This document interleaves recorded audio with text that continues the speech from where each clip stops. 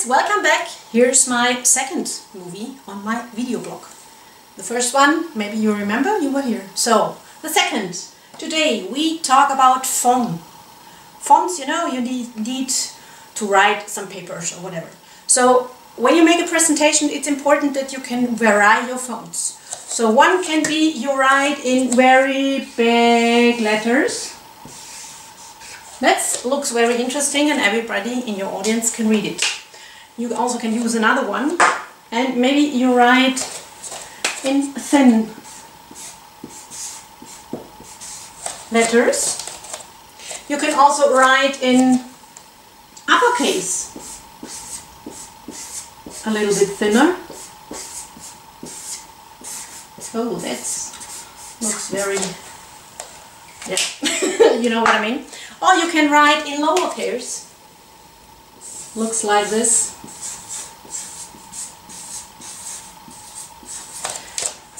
And you can just can see the difference, what comes in and what looks very fine. You also can use a very thin one and you can write in script.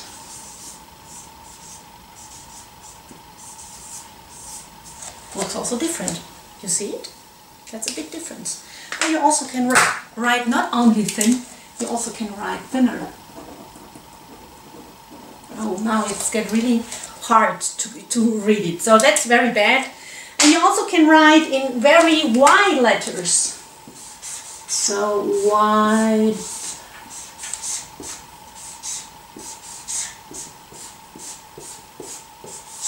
Now you see that was too wide, the S.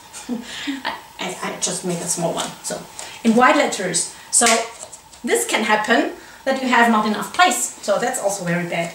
So what you also can do, you can focus um, your writing when you make your line here bordered. So what does this mean?